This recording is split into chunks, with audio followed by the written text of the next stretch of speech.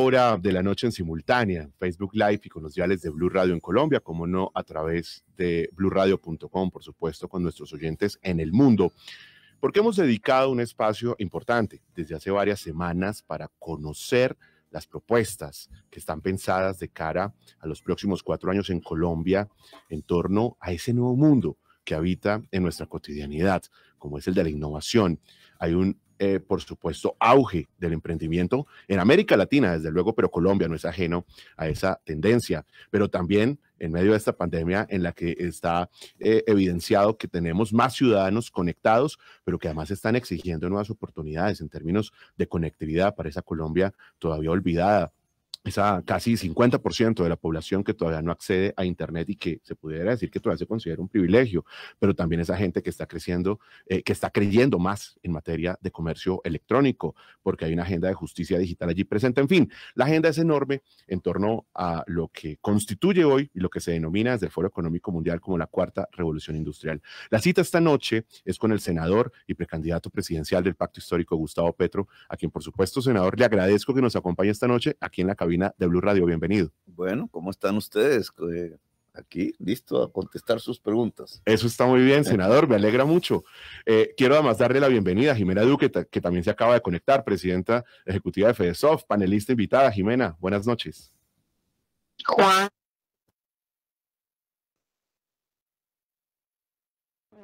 por supuesto, aquí listos para conversar sobre transformación digital y el futuro digital de nuestro país.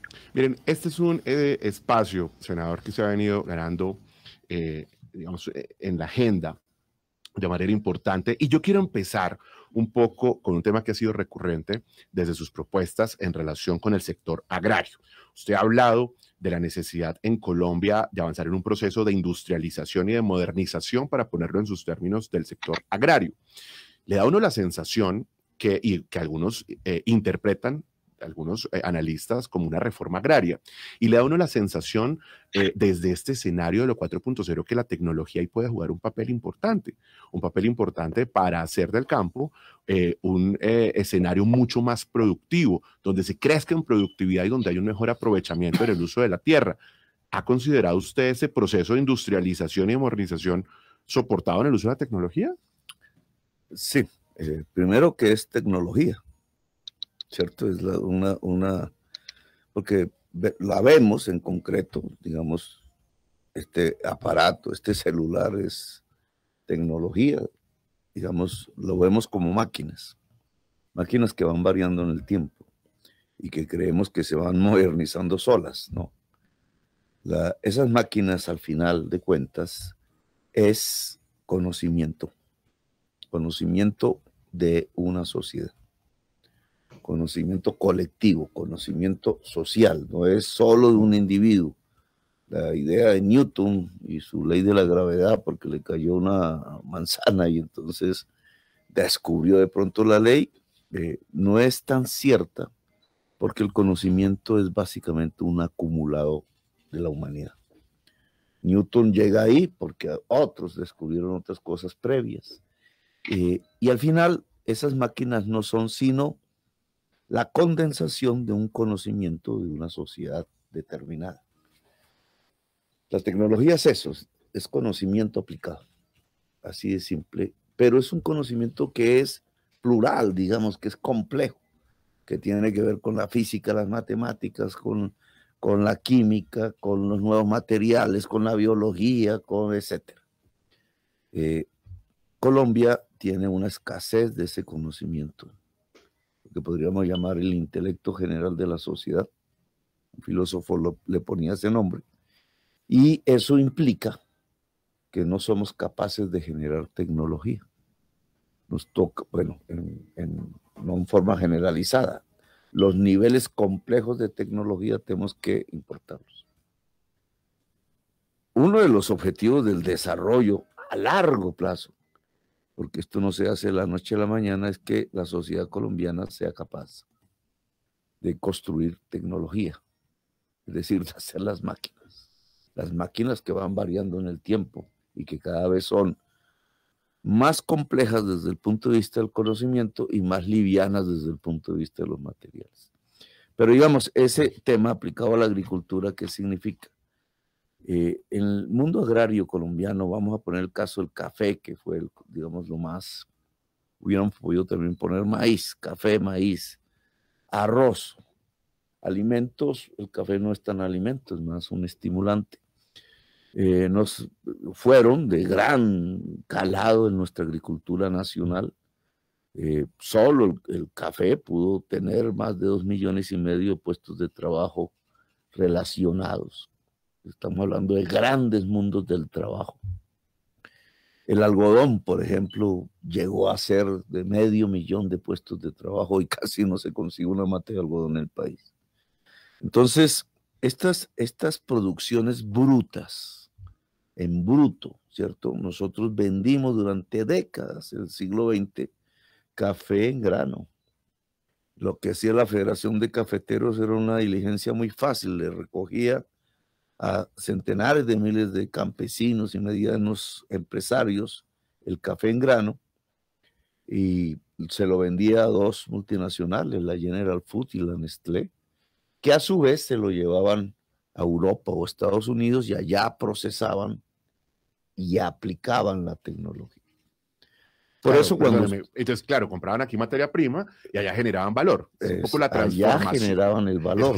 generación de valor de los sectores productivos, claro. Eso lo ve cualquier colombiano que viaja, digamos, si va a tomarse un cafecito, allá no dicen tinto, pero bueno, digamos, el café, el, pocillito de, nuestro tinto eh, en una cafetería que no sea una zona turística en, en Italia, te vale dos euros si estamos hablando de la tasa de cambio de ahora que está 8 mil pesos puede ser, ¿no? Más o menos unos 9 mil pesos, ¿cierto? De hoy.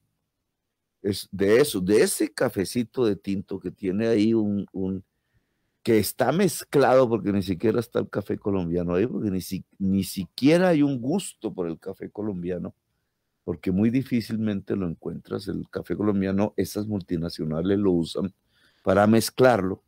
¿Y eh, eh, cuánto le llega al productor del, del café?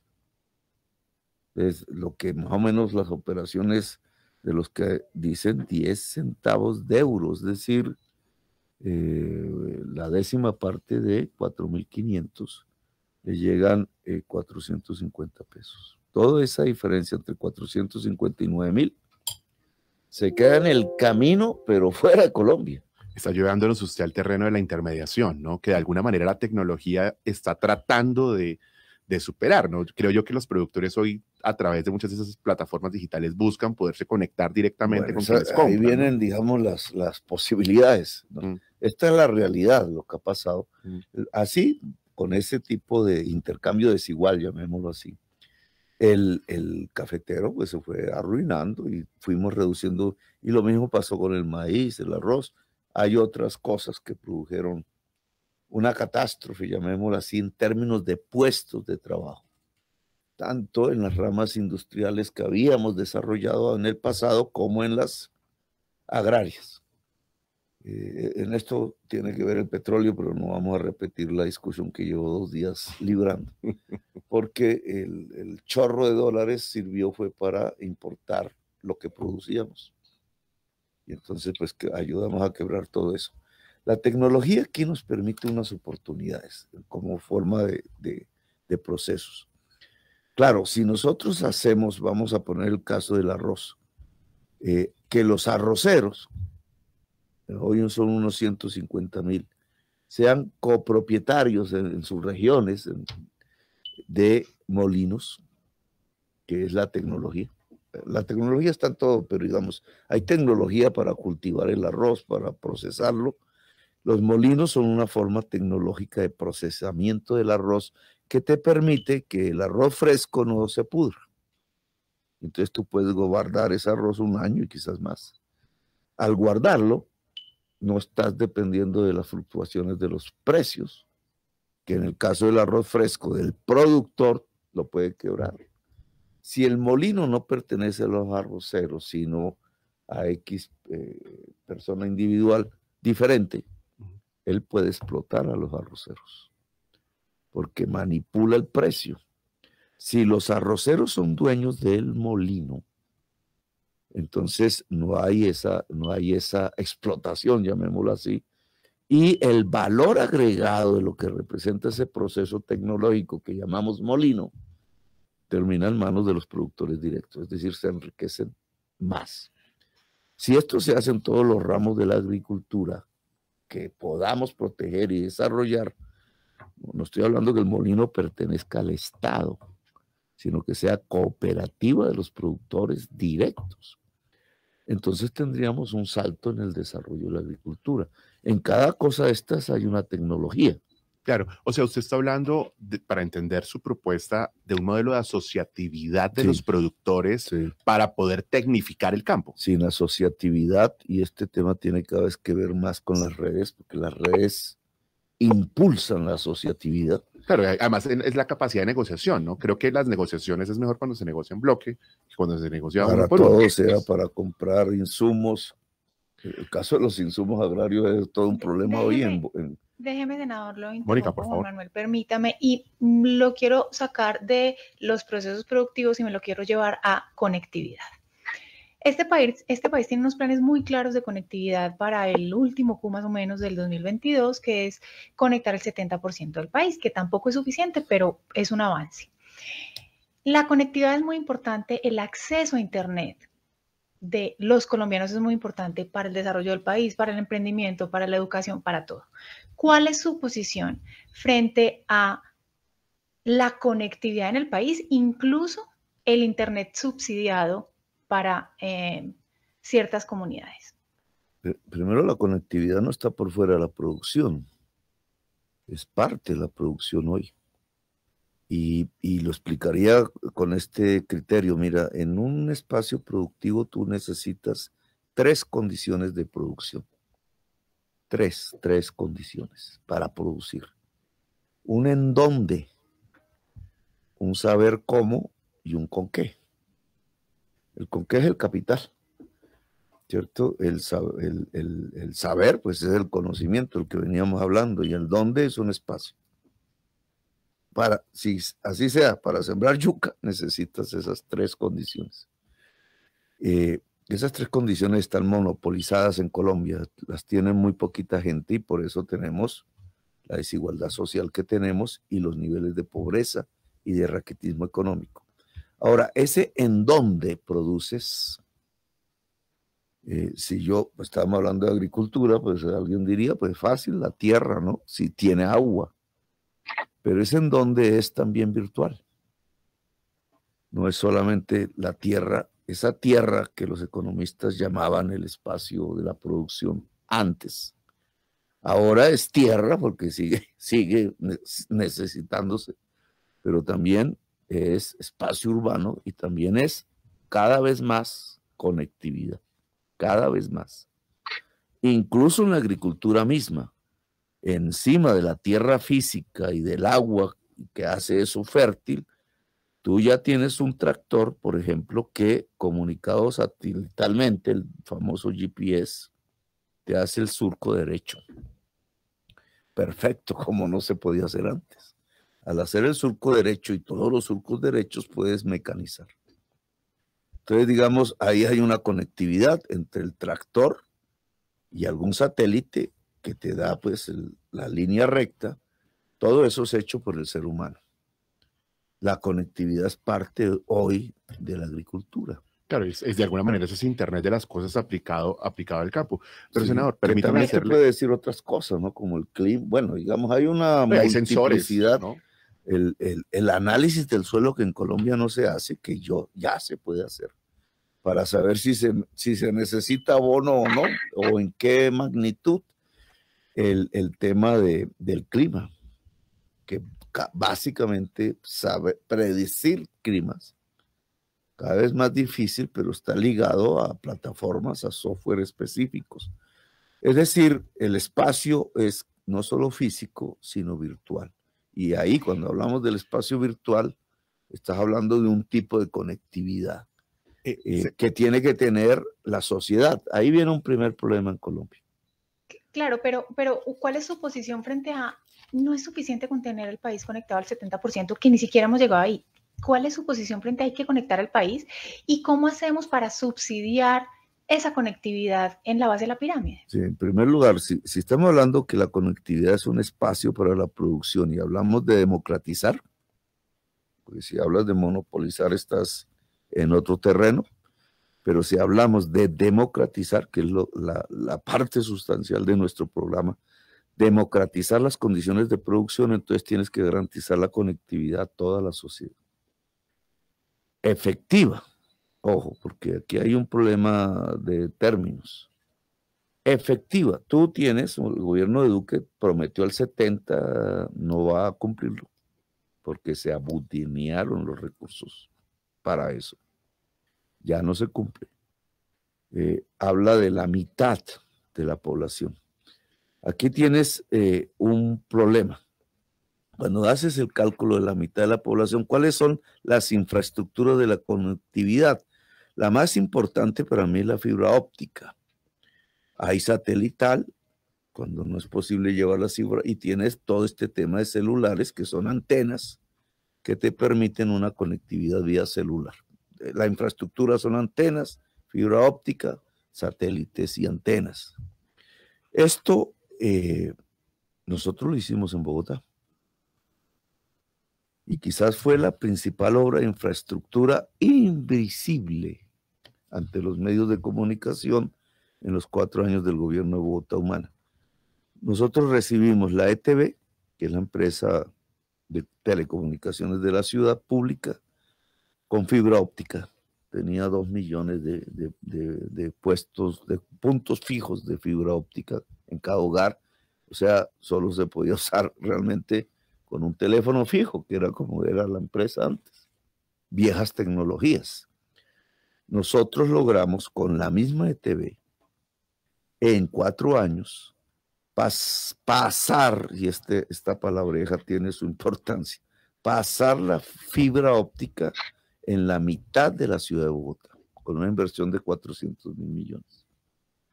Es decir, eh, mientras ves el fracaso de Duque en conectividad por corrupción, encuentras un éxito pero invisible. La ciudad de Bogotá, entonces, gracias a esa fibra óptica, pudo tener 4 eh, gigas de velocidad. Tenía más o menos el máximo 4 gigas, pero máximo en la clase media bogotana por hogar en banda ancha. Y hoy tienes 150. Senador, déjame, eh, para que avancemos en conectividad, tenemos talento, emprendimiento también ahí en la lista de, temas a tratar. Pero entonces, eh, cuando uno habla de conectividad, ¿no? Como la posibilidad, ojalá, de superar ese 70% del que estamos hablando de la población conectada a Internet, fundamentalmente en áreas rurales, ¿no? Que es donde está la deuda histórica. Pero entonces, si usted no habla de los operadores de telecomunicaciones y habla de la democratización a través del espacio, ¿cómo lograría usted durante un eventual gobierno suyo como presidente, entonces conectar a Colombia, no con los operadores de telecomunicaciones. Ah, aquí vienen los problemas. Entonces, eh, eh, ejemplo, eh, digamos, hecho, Bogotá, conexión media ciudad, pero estrato 6, estrato 4, estrato 3. ¿Por qué? Porque la ETV tenía que vender el servicio, es la ley del mercado. Y la ETV es una empresa si no la quebramos. Esa discusión se dio en la junta directiva y ahí me acerqué mucho al, problema de la brecha digital, que es un problema en Colombia. Porque para poder llegar al estrato 2 y 1 y parte del 3, es decir, la otra media ciudad, yo no podía lograrlo a través de, de, una inversión de la empresa de telecomunicaciones porque no iba a tener retorno. Y eso es exactamente lo que pasa con cualquier operador privado. Más cuando el estrato 1 en Bogotá, pues vives cerca del centro, relativamente físicamente. Estás hablando de distancias de 7 kilómetros. Pero cuando estás en el mundo rural, tú estás ya hablando de distancias de 100 kilómetros de poblaciones dispersas, el Bichada, por ejemplo, el Chocó, en condiciones geográficas difíciles y entonces, ¿qué empresa privada te conecta a toda esa población? O sea, por las privadas. No es rentable. Entonces, claro, la empresa privada te va a decir, que fue lo que pasó ya con Duque. La empresa privada te va a decir, le conecto de eso, pero usted me paga. Es decir, no es un negocio, tiene que ser es una contratación del Estado. Y ahí viene el problema porque haciendo eso, precisamente el Ministerio de Comunicaciones pues eh, se dejó robar la plata, digamos, se dejó entre comillas. Senador, quiero, quiero llevarlo. Eh, la solución que tiene el Ministerio de Comunicaciones, por lo menos lo que apareció en la prensa, mira la paradoja. Fue intentar que el contrato lo cogiera ETV. Sí, está, está hoy esa alternativa. nadie se preguntó en la prensa, estas cosas nunca se nos reconocen, pero digamos, ETV tiene esa capacidad precisamente por la experiencia en Bogotá humana, si no tampoco la hubiera tenido. Pero entonces sí surge una pregunta.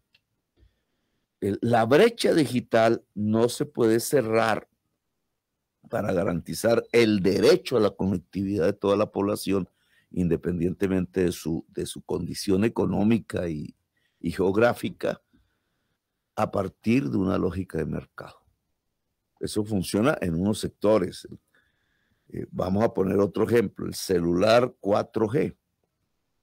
Cuando tú tiendes la geografía 4G, metimos a ETV a concursar y ganamos un pedazo. ETV tenía, yo no sé si todavía, eh, la posibilidad de vender el servicio 4G en celulares, telefonía móvil. Cuando tienes eso, otra vez juega lo mismo porque la geografía mercantil del 4G es donde se puede pagar el servicio, eh, que es lo que llaman los datos, ¿cierto? se conoce popularmente como cuántos datos. Y lo que permite que la gente pueda estar en zonas rurales más fácilmente conectada. Y entonces poner un video, dependiendo de la red, lo que quieras, un video, o ver un video en tu celular te cuesta. Son los datos. Cuando la persona tiene menos capacidad económica, empieza es a cerrar esas posibilidades de gasto de datos, los, los prioriza hacia la llamada a la familia o el WhatsApp con los familiares, con la novia, y, cierra las posibilidades de conectividad. Y ahí tienes, a pesar de que está la infraestructura, eh, la desigualdad social en Colombia te produce, aún con infraestructura, una brecha digital. La única manera de solucionar eso no es a través que el operador privado te va a garantizarlo. No, el, operador privado te va a garantizar allí donde puede ganar. Punto. Ya de, a partir de ahí, no tiene, o le pagas al privado desde el Estado los servicios que el ciudadano va a tener de baja capacidad de pago, es lo que ellos piden, o lo haces directamente como Estado. La brecha digital implica Estado para poder eh, llegar con la fibra óptica y con la, infraestructura necesaria al, a los lugares más recónditos y a los sectores sociales de menor condición económica, pero además eso tiene un gasto, día, no solamente la inversión en capital fijo, que se llama eso, sino que tiene un gasto operacional corriente todos los años, que es el, el, el, el costo del bit, ¿cómo le dices tú a eso? Sí, sí, sí, el descarga, el costo de descarga. Es la unidad básica de información.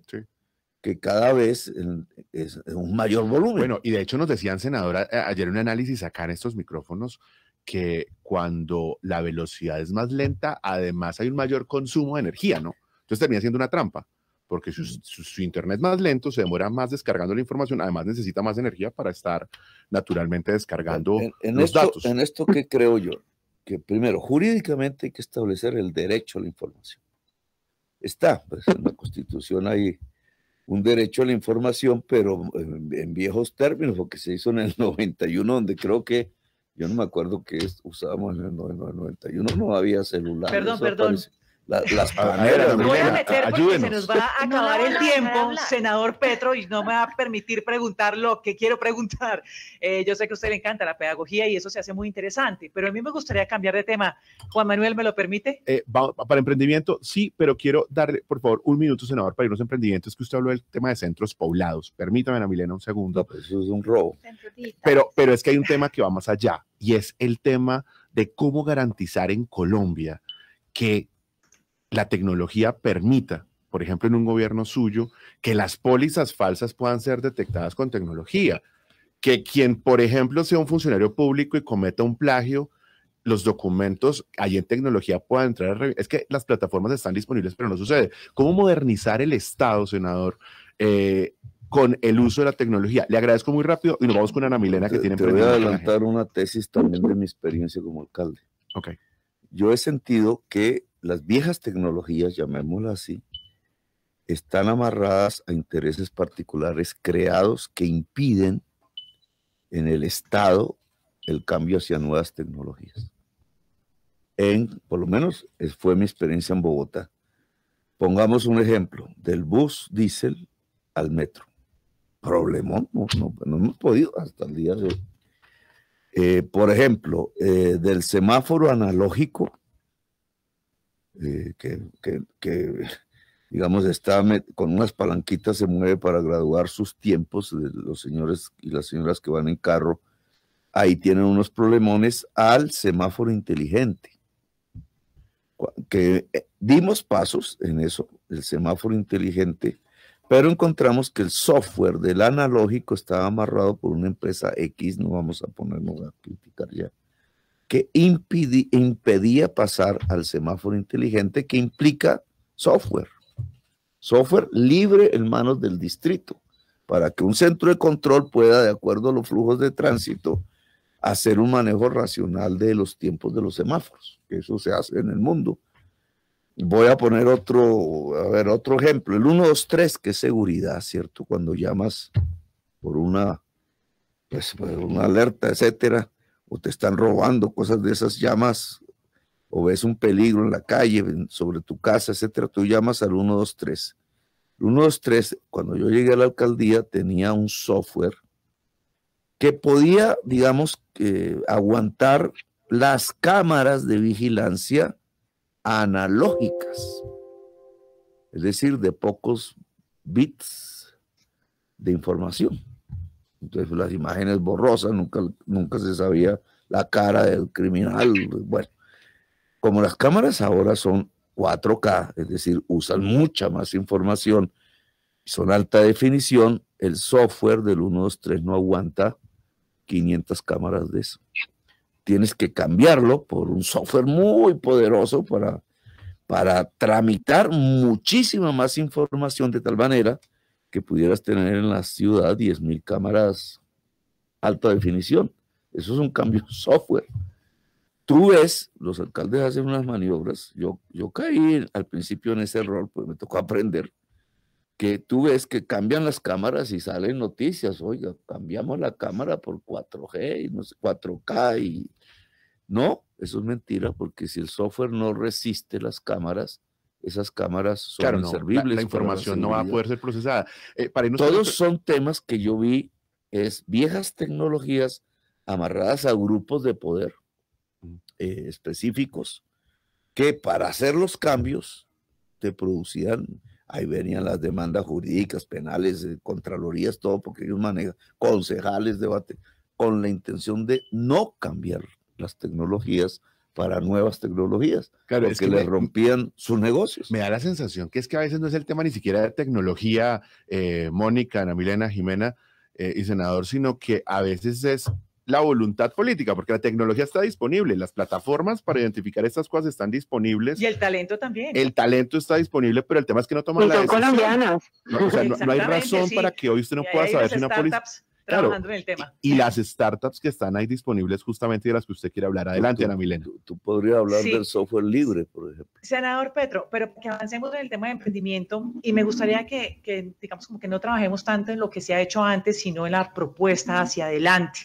Eh, pues sabemos muy bien que la mayoría de los empleos en el país son generados por las pequeñas empresas, pero las empresas, las pequeñas empresas tienen grandes problemas para sostenerse y para sostener esos empleos. Han tomado relevancia para el Estado desde hace muy poco, diría yo que principalmente durante la pandemia, porque las em, pequeñas empresas eh, pues le salvaron la vida a muchos colombianos.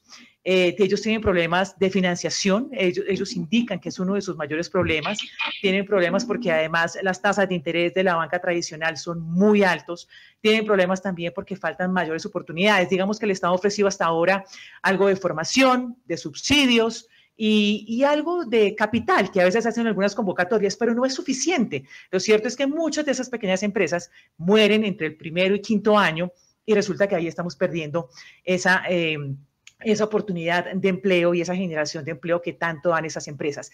¿Qué hacer a futuro para apoyarlas? ¿Qué hacer para que esas pequeñas empresas, en vez de morir, se fortalezcan? Para que realmente puedan sostener esos empleos pues, que tanto le ha servido y que, durante tantos años a este país.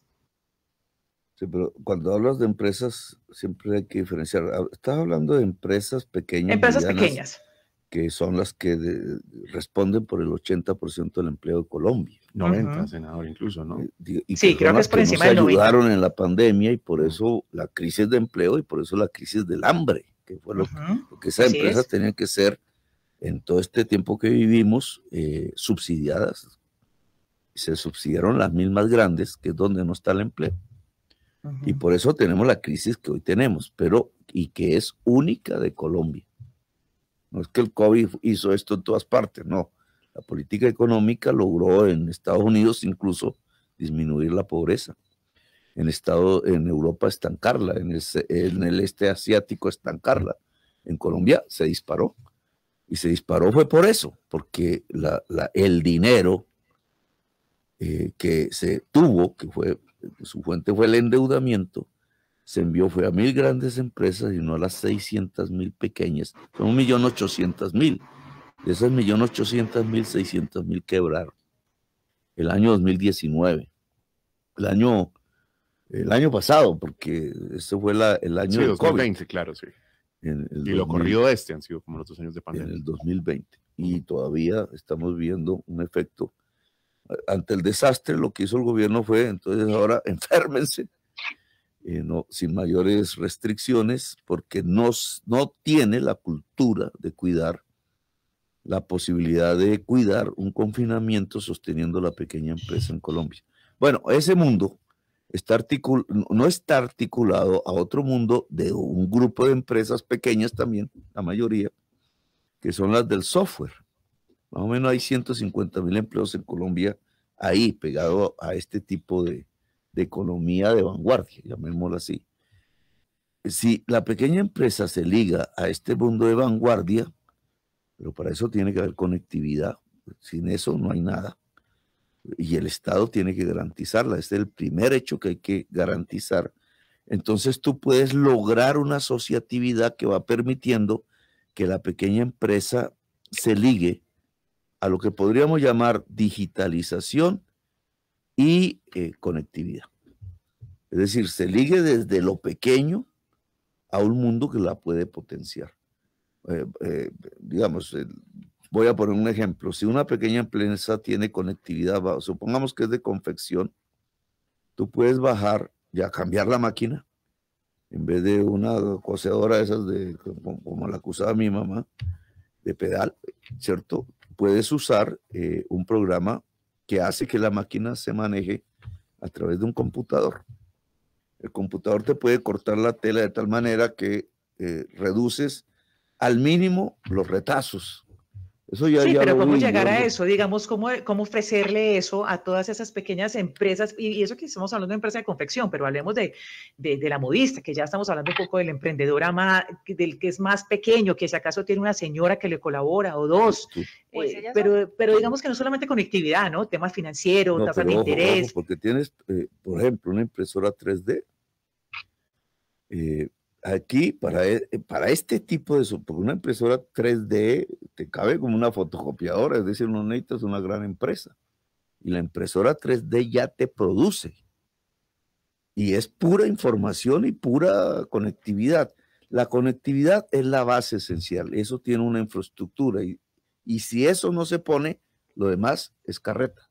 Entonces, la conectividad al conjunto de la población colombiana es básica se ha avanzado algo, no vamos a decir que partimos de cero, porque es cierto, en las grandes ciudades, en el país hay una infraestructura ya puesta, pero insuficiente. Entonces, el, programa del, del, próximo gobierno tiene que llevar eso al 100, sabiendo que la conectividad también varía. Senador, escúcheme, lo interrumpo, pero la conectividad no le va a solucionar todo eh, el problema a todos los emprendedores. Digamos, hablemos de eh, una empresa de empanadas, por ejemplo. Bueno, es que en el tema de la confección, entonces le, solucionamos con la impresora. De, digamos, sobre tecnología, entonces me parece que es clave. Sí, claro, pero como la empresa también es un programa de emprendimiento, inclusive el pues, tema de la claramente la tecnología es importante, pero no es lo único para poder sostener esas empresas durante tanto tiempo y que puedan sostener los empleos. Es como si habláramos de agricultura sin tierra. no necesariamente. No necesariamente porque por eso digo, puede funcionar para algunos emprendimientos, pero no para otros. A ver, Ana Milena, a ver, es como si quisiéramos hablar de agricultura sin tierra. Aún las empanadas, en el caso que me estás poniendo, necesito un tipo de tecnología, necesito un tipo de espacio y necesita algo que sería fundamental, que no hemos tocado en este programa, energía. Y para allá vamos también. La energía es conectividad hoy. Incluso lo que llamamos conectividad a Internet, ya en el mundo moderno se fusiona con la conectividad eléctrica. Internet y electricidad, es decir, Internet y energía van de la mano, que es un tema que el concepto cuarto de revolución oscurece, no lo, no lo visibiliza. Bueno, pero eso es un tema más teórico que otra cosa. Pero aún en un puesto de empanadas, eh, si tú ves el tema conectividad, que es también energía eléctrica, la empanada te es más rentable si ese costo disminuye. Porque además es intensiva, hacer empanadas es intensivo en energía. Claro, usted habla de, tecnificar, digamos, el proceso. Yo quiero ampliar un poco la pregunta y sé a dónde quieren llegar, senador, y, lo, comprendo, digamos. Supongamos que su gobierno llega a un 100% de conectividad. Haremos en ese, en ese escenario. un eventual gobierno suyo llega al 100% de conectividad. Y entonces, aun cuando existe esa conectividad y la posibilidad de tecnificar los procesos, de estandarizar los procesos, por ejemplo, con eh, impresora 3D, por ejemplo, con los sistemas de información que nos permite la tecnología, quedan aún algunas brechas para los emprendedores. Y creo que Ana Milena estaba refiriéndose también a eso. Por ejemplo, el acceso al sector financiero, que tiene tasas de interés altas para las pymes. En la banca tradicional. Un tema que a mí me parece que hay que poner aquí en mayúscula y es el tema de la informalidad eh, que aún persiste para los emprendedores en la medida que eh, resulta costoso hacer emprendimiento desde un comienzo, en buena parte porque los trámites son costosos, porque no están digitalizados, ¿no? Digamos, todo nos lleva un poco a todo. Eh, ¿Cómo fortalecer, estando una Colombia conectada, ese ecosistema de emprendimiento que hoy está en auge y que le está representando oportunidades de empleo a muchos jóvenes? vuelvo al principio.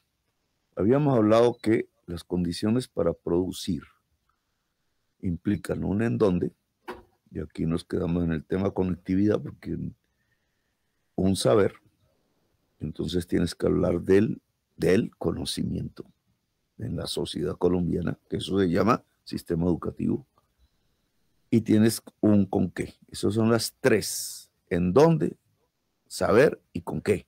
Ahí tienes las condiciones para poder producir individual o asociativamente, que ya es otro problema. ¿Con qué? Eso se llama dinero, ¿no? En la práctica. Un dinero para poder invertir.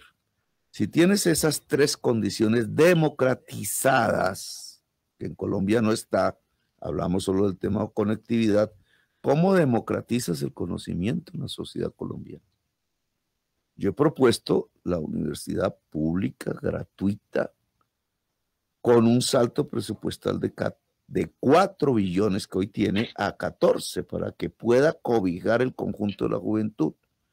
Parto de una tesis. Eso no es una sociedad de conocimiento, eso es simplemente el primer peldaño de una sociedad de conocimiento. Pero si comienza por cubrir toda la juventud, entonces tendríamos que la juventud se convierta en una fuerza productiva, no en una fuerza a la expectativa como es hoy y, o una fuerza desesperanzada, como sería la juventud pobre, sino una juventud que podría ser una fuerza productiva al ser depositaria de los saberes. ¿Con qué? Entonces tienes que ir a ver cómo es que es el dinero que se vuelve crédito. En general, en la microempresa, en la pequeña empresa, la oferta del dinero se da a través de mecanismos que otorga la mafia, que es el gota a gota y de otras formas usureras de crédito que ellos usan para lavar, pero la señora de las empanadas la necesita porque en ningún banco le da el crédito, lo que llama el, el capital de trabajo. Entonces la señora nunca podrá salir del puesto de empanadas y pasar a otro tipo de actividad más rentable o hacer de esa actividad una más rentable, una empresa de empanadas para cubrir eh, la localidad. Y generar más empleo. Porque, porque eh, nunca tú pagando el 10% diario vas a poder competir, así de simple. No puedes sobrevivir. Mientras un gran empresario consigue un crédito en el grupo Aval a 1% mensual, vamos a poner de pronto menos, eh, esta señora tiene que pagar, siendo un pobre, de baja condición económica, 10% diario.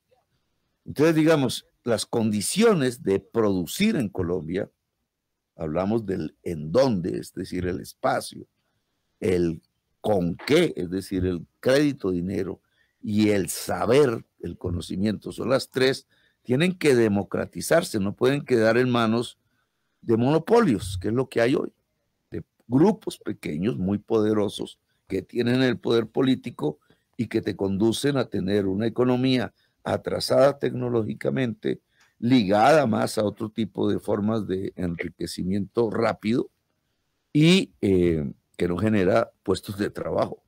La democratización que permite esa expansión de la producción. Quisiera decir una cosa, y Jimena, y sé que usted quiere entrar con software libre y talento, pero hay un tema, un tema importante, ¿no? Que hay que poner sobre la mesa, que hay que reconocer, y es esa existencia de plataformas de servicios financieros digitales que han entrado a cambiar eh, el, sector financiero. Digamos, hay que, hay que reconocer ya la tecnología, para no poner un actor aquí en particular, pero sí hay que reconocer la tecnología que ya los bancos no son dos o tres.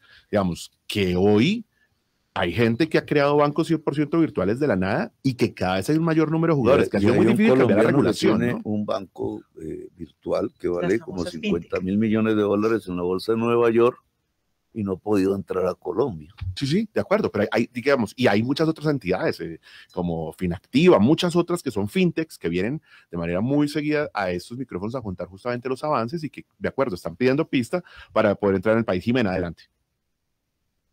Eh, senador, bueno, entrando un poco con el tema de, educación y talento, yo voy a hacerle dos preguntas como para, para avanzar, por supuesto. Eh, la primera es, usted menciona el tema de, de, educación desde, desde el acceso, pero yo lo quiero llevar un poco al tema de talento, de talento para el sector de tecnologías. Nosotros, como usted lo mencionaba, tenemos en este momento una brecha de 150 mil talentos TI muy específicos y el sector no está siendo capaz de cerrar esa brecha. Ahí necesitamos muchísima muchísimo apoyo por parte de las instituciones de las instituciones educativas, perdón, y también un trabajo en todo ese cambio, digamos, de base de lo que llamamos eh, las, el STEM como base de la educación. Y quiero pues que me, me hable un poco acerca de cómo podría jugar un posible gobierno eh, suyo en esa transformación de la, de la educación del país hacia esa, esa, esa educación que responda a esas necesidades de talento. Y lo segundo que quiero es porque ahora estábamos un poco acerca de software libre y yo le quisiera preguntar cómo ese modelo de software libre que usted pues eh, ahora estaba planteando juega con una industria también de tecnologías que está compuesta por cerca de 9.500 empresas y que representan cerca de 29 billones de pesos para el país. Eh, el software libre en el Estado permite no pagar licencias anuales tan costosas como el software propietario.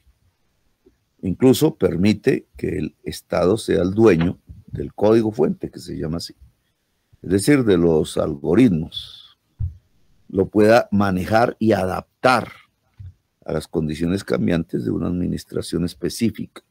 Puedes lograr comunicar los software de diversas entidades dialogar entre sí y puedes lograr entonces transparencia, porque incluso el usuario no necesita tener Microsoft o tal software propietario para poder acceder a información del Estado específica.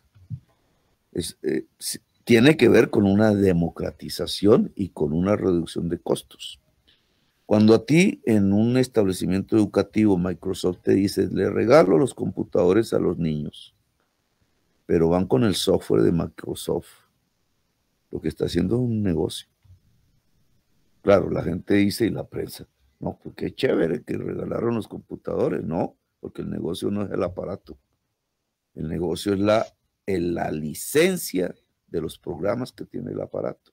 Que si tienes que pagarlas anualmente, y estamos hablando ya no de, de 10 personas, sino estamos hablando de un millón, de, estudiantes. Pues imagínese, imagínate el negocio que se está haciendo con el Estado, simplemente porque se, regaló, se regalaron computadores, pero ya venían con el software propietario. Estos temas se resuelven con el software libre. Parte, mi programa, porque esto también lo adelantamos en la pasada experiencia administrativa mía, eh, el programa del gobierno es extender el software libre al conjunto del Estado. Eso es paulatino, eso no es fácil. Porque ya hay contratos, porque ya hay perspectivas. Voy a ponerte solo un ejemplo. La rama judicial, con todos los problemas que tiene de, congestión, de procesos, en papel todavía, eh, que cada juez puede tener acumulados en un despacho mínimo. Eh, los softwares libres podrían permitir la construcción de una informática dentro del Poder Judicial que facilitara y volviera más eficaz la labor judicial en Colombia. Lo mismo te podrían hacerlo en el tema de salud. Te voy a poner otro ejemplo en salud. Nosotros somos defensores del programa de prevención, es decir, de, una, de un aparato de salud público que en lugar de estar esperando que el enfermo llegue al hospital, vaya a las casas y trate de impedir que se enferme. Eso en el pasado era pura prevención, nosotros lo hicimos así, pero ahora también es predicción. Es decir, ya hay, digamos, tecnología en salud que te permite a través de, exámenes del genoma particular de una persona predecir qué posibles enfermedades esa persona puede tener. Que, diferente a otro y otro, si tú lo, y eh, vale 60 dólares ese examen por persona, si tú logras, y esos son softwares, entonces si tú logras cubrir la población, vas construyendo un sistema de prevención y de predicción que es fundamental en los nuevos desarrollos de la salud pública en el mundo. El COVID ha enseñado este tema.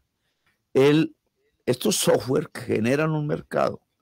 Si el mercado de software propietario, casi que se puede decir que los dos grandes monopolios de software del mundo son los que se quedan con ese negocio. Si el, si el software en el Estado es libre, casi que puedes decir que generas 10.000 empresas de software adicionales en Colombia que se dedican a los desarrollos del software libre y que pueden crecer porque el mercado del Estado solo se lo permite.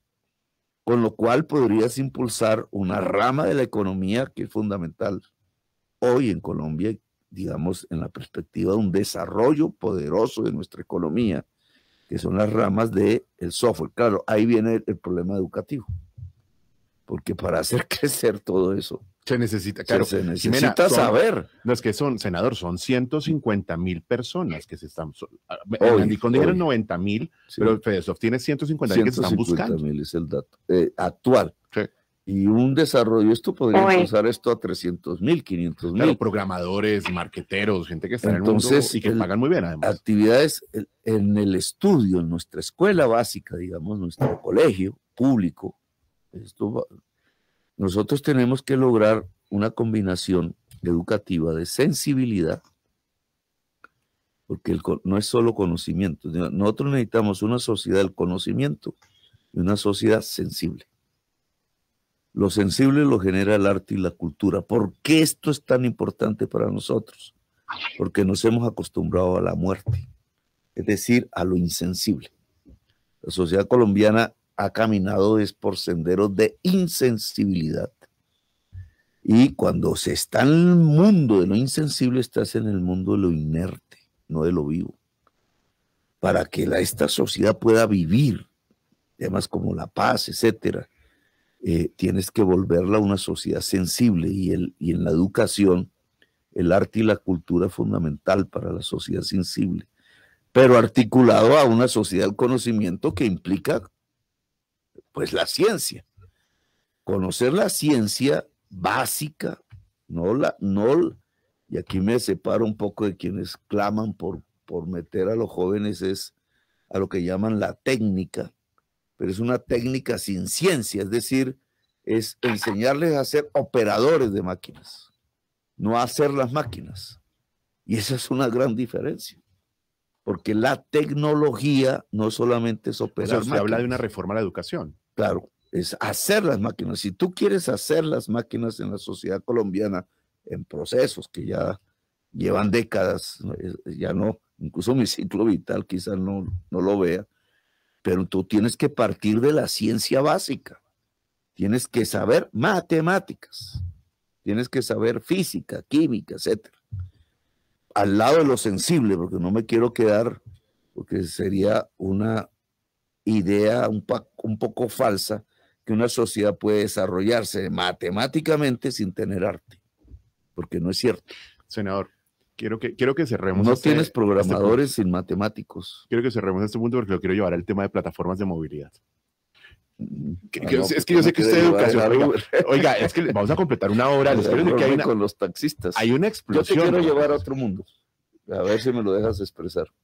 Claro. Que por favor, mencionado aquí, por eso te he criticado ese concepto de cuarta revolución. Sí, sí, sí, adelante, adelante. Porque no tiene el concepto, eh, o sea, la, la, industrialización, la historia de la industrialización que comienza en 700 y pico con la máquina de vapor, se mide es las fases, se miden es en modos de energía y modos de comunicación. No en esa fácil, un poco bestseller que trae esa otra forma de, ¿Qué significa modos de energía? Modos de energía en la historia reciente es que comenzamos con el vapor, carbón, la caldera, pasamos al petróleo, aún estamos en eso, tratando de salir de ahí, y se necesita energías limpias por el cambio climático. Entonces, la fase nueva de la industrialización es de energías limpias cero carbón, cero petróleo. Esa es la fase nueva. Y hay unos modos de comunicación diferentes que se ligan a esos modos de energía. Eh, la imprenta, vieja, digamos, después teléfono, telégrafo y después internet. Conectividad, etc. Entonces, el mundo de la industrialización nueva es una articulación entre un modo de energía que es energía limpia y un modo de eh, de comunicación que es Internet, ¿cierto? Informática, etc. ¿Qué pasa aquí? Cuando, cuando estás en cuarta revolución, en ese concepto, no distingues estas dos cosas, solo una. Aparece una cosa que se llama el Bitcoin, vamos a poner de criptomonedas hablemos de ese tema. Que cambia además los sistemas de intercambio, ¿no? ese concepto de la escuela francesa de que las monedas deben estar legitimadas en el mercado y tener un respaldo. y que además representan la identidad de los países, ¿no? Cambia varias cosas. No es que no es que esto vaya a solucionar, sino que esto es expresión de una nueva forma de, industrialización. Eh, voy a tratar de meterme en este tema, solo para generarle una propuesta el papel moneda es reemplazado por la moneda virtual, ¿cierto? ¿Qué se necesita? Si coges todas las monedas, papel moneda de todo el mundo, todos esos billetes diferentes de todo el mundo, ¿qué necesitas para hacerlos? Un poco de árboles, ¿cierto? El papel sale del árbol. No se nota hasta ahora que la demanda de papel por hacer billetes sea tan alta como para que tengamos bosques en peligro. De hecho, debe haber bosques hechos, digamos, construidos por empresas especializadas que hacen papel moneda. Y necesitas unas máquinas para imprimir. Digamos, desde el punto de vista de la sostenibilidad ambiental, no es hoy un gran problema el papel moneda.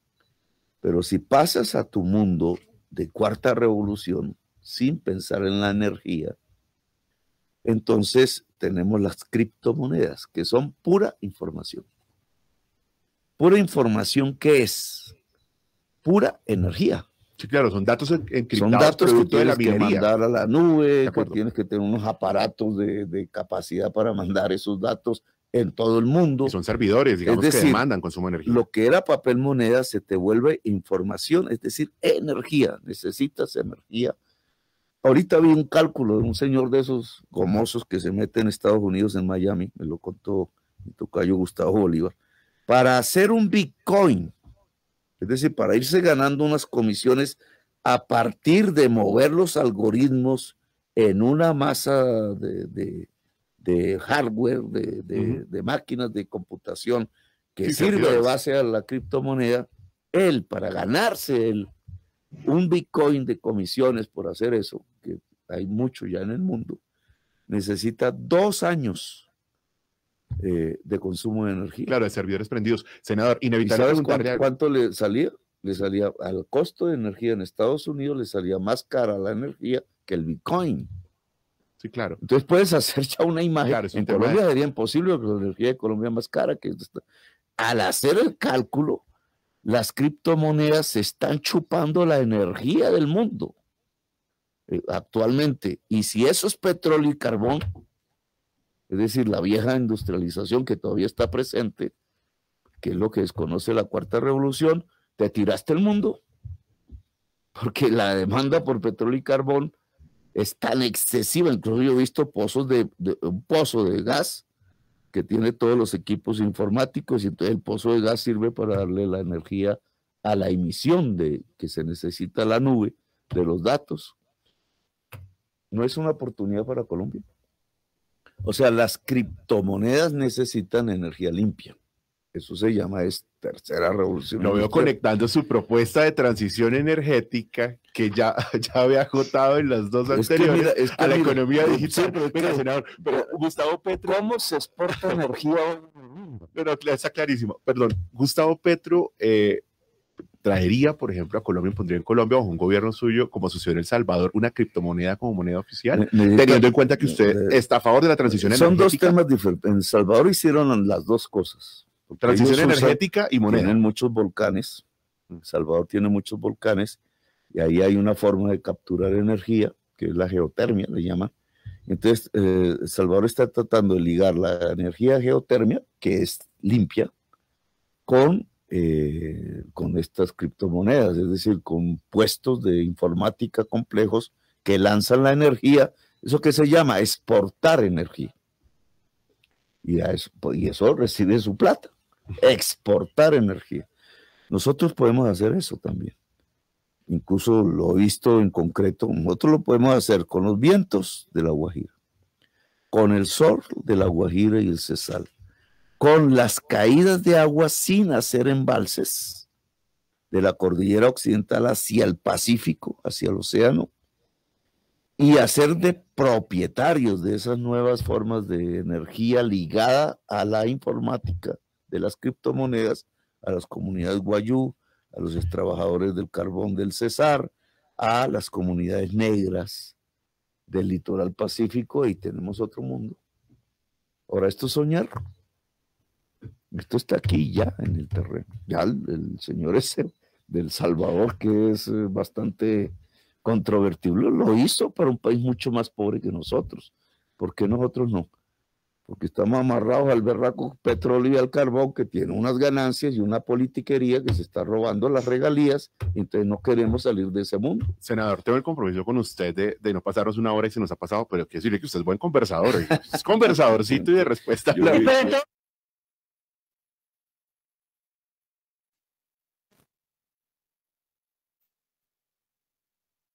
Que él sobre tecnología de pronto no conversaba mucho, pero pues. No, pero, pero queda, endeudado, queda endeudado con las plataformas de movilidad, senador. No, no, no, no, no lo dejo ir. Un, pero un minuto, senador. ¿Te va a reglamentar plataformas de movilidad? ¿Sí o no? ¿Lo escuchan los taxistas en Colombia y los carros particulares de las plataformas de movilidad? Para que no quede endeudado. Sí, no, no, ¿quién no, no, tiene que ser, no tiene que ser un mundo de lucha entre el, el del carro particular que nace del carro compartido, de ahí es que nace eso que era una solución ambiental, y el taxista. ¿Por qué? Porque el taxista tiene un intermediario, que yo no sé por qué existen, pero son unas empresas intermediarias, esos son eh, temas de la politiquería. El taxista tiene, divide la tarifa del pasajero, lo divide como en tres, el, que le va, que es el propietario del taxi, el taxista y la empresa. Pues así no se puede sostener. Digamos, ese modelo hay que cambiarlo. El taxista debe ser un propietario de carro eléctrico. Eso, eso también lo empezamos a implementar en Bogotá. Sabemos cuánto cuesta y todo eso. El taxista debe ser un propietario de carro eléctrico que puede incluso enchufar en su casa y la casa debería estar dotada de paneles solares y ligado directamente a la Secretaría de Tránsito de su municipio directamente, no a través de una empresa. Ahí tú puedes tener un taxista que puede incluso aportar para su propia seguridad social y tener una vida digna. ¿Y eso en cuánto se logra, senador? Si tú a ese taxista le pones la conectividad en el taxi, que, lo, ya la tienen, digamos, esto no es... No, fíjate que en Bogotá sacamos un decreto que hacía que cada taxi nuevo que fuese a ingresar, porque hay unos tiempos de recambio, ya tenía que ser eléctrico. porque ya sabíamos que daba rentabilidad y ya había electrolineras, se llaman así en la ciudad, la habíamos puesto nosotros. Eh, el señor Peñalosa suspendió el decreto y se tiró la posibilidad de pasar. Ese es un tema clave porque el taxi, a diferencia del carro particular, que solo se usa pues para el viaje ida y vuelta, en cambio el taxi da 14 vueltas a la ciudad al día. pero, senador, eh, ¿usted va a reglamentar o no? O sea, es, no, pues, hablando aquí de una nueva reglamentación. Pero entonces, lo que pasa es que si esta nueva reglamentación se hace, el taxi sí es competitivo con el particular. Exacto, a ver si lo entendimos bien, o sea, es fortalecer taxis, digamos, hacerlos más competitivos. El taxista. Al taxista, plataformas de movilidad para los taxis, no carros particulares. No, no, no hay necesidad de prohibir. Lo que pasa es que bajando ya, porque esto reduciría la tarifa al usuario porque el taxista puede vivir mejor aún con una tarifa menos porque no tiene dos intermediarios encima. Ah, ok, reducir. está cobrando plata. Claro, y tiene un costo operacional menor que es el eléctrico. el, carro eléctrico tiene un costo operacional, no el valor inicial, sino la operación menor que el de gasolina. Eso le permitiría a los taxistas, entonces, senador, poder tener unos precios más competitivos y en convivencia con los carros particulares. Sí, porque entonces ya el carro particular, así, con ese tipo de competencia de tarifa más baja, se vuelve más esporádico. Se vuelve para el, para el que quiere rebuscar su ratico, digamos, que además también es necesario, pero, pero no logra tener, digamos, la misma capacidad que el taxista. Pues está clarísimo. Bueno, senador, le quiero agradecer. Usted ha conversado aquí largo con nosotros en una perspectiva. ¿A usted lo pueden hablar seguido de tecnología o no tanto? Siempre lo escucho hablando de política. Porque yo hago parte de una corriente económica, yo soy economista que se construyó, se educó a partir de que las sociedades se desarrollan a partir del desarrollo de las fuerzas productivas, que eso trae cambios en las relaciones entre seres humanos en la producción. Determinante, además, esas relaciones para justamente lograr innovación, para poder generar valor. No es lo mismo tener cinco monopolios de generación de energía, como en Colombia, a que cada casa pueda generar energía. Y cambia sustancialmente las condiciones de las relaciones de producción de la sociedad vuelve más igualitario. Pues senador, gracias por habernos acompañado bueno, Gracias a ustedes, espero no haberlos aburrido. pues le quiero decir que las redes sociales... No lo preguntan ahí donde la señora de la revista ni en otros sitios, entonces pues le quiero decir que las redes sociales explotaron y que tenemos cientos de mensajes de en todos lugares del territorio, por supuesto, porque eso se trata, que aquí vengan todas las corrientes ideológicas, todas las propuestas para poder tener la visión en torno a esos temas tan importantes. A ustedes, gracias por acompañarnos. Seguimos en minutos aquí en Blue 4.0. ¿Para dónde va la...